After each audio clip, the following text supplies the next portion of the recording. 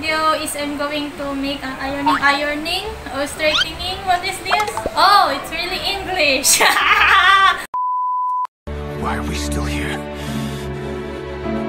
Just to suffer?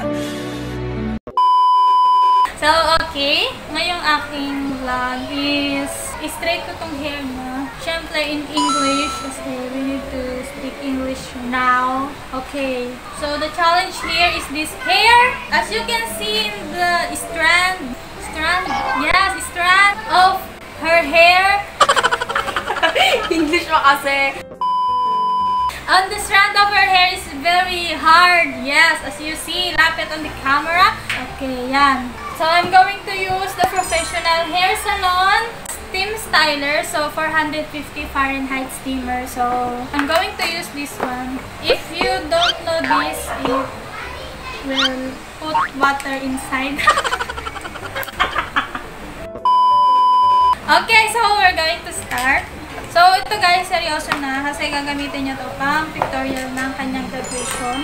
As you see guys, ito yung gagamitin kong pang plancha sa buhok niya. Tingnan natin kung mas okay itong gamitin yung steamer kaysa sa ordinary na plancha. So, yung buhok niya kasi is very, very curvy. Ito guys, paano siya gamitin? Meron siyang 450, 430, 410, 350, saka 340. And then, ang pinakamababang init niya is 300 Fahrenheit. Nakalagay na rito yung description. And then, itong kanyang on. Ito yung naka-green, ibig sabihin yung kanyang init. And then, this one na naka-blue, ayan yung kanyang power. So, ito, dito kayo maglalagay ng water. So, parang review na rin to nung aking plancha. So, nabili ko pa to sa Taiwan eh. So, ito siya guys. Steamer to. Pwede siyang gamitin kahit na ang iyong buhok ay basa. Kasi sabi nila, wag daw gumamit ng plancha pag yung iyong buhok is basa. But, ito kasi kahit basa, pwede mo siyang gamitin. So, yung buhok niya kasi is medyo basa-basa. So, hindi na ako maglalagay ng tubig dito. Kailangan natin dito pinakamainit kasi sobrang kulot yung kanyang buhok. So, 430 na lang. So, mag-start na tayo. So, yung kabilang side ay gagamitan niya ng plancha na normal lang.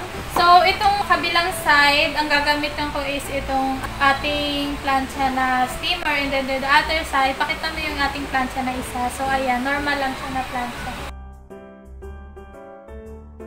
Kita niyo yung kanyang buhok. Sobra talagang ano, sobrang curvy.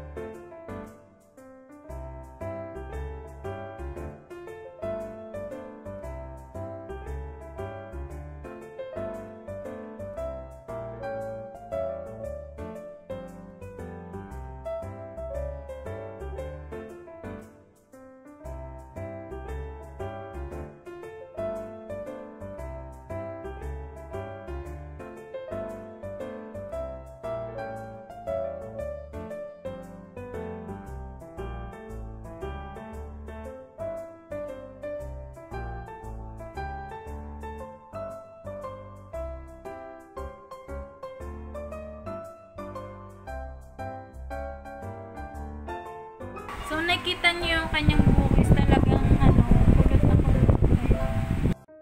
So, tignan natin mamaya. Ito na yung nagawa namin. So, ito yung kabila. Ito yung isang side na gamit is yung normal na plancha.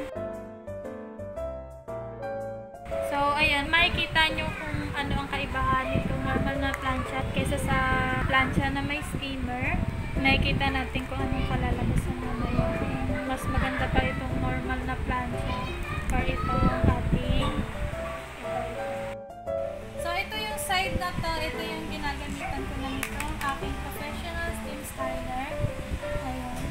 So, maninipis lang yung ginakuha ko. Ayan, nakikita niyo yung usok niya. Usok talaga siya. And then, naka 430 degree Fahrenheit na siya.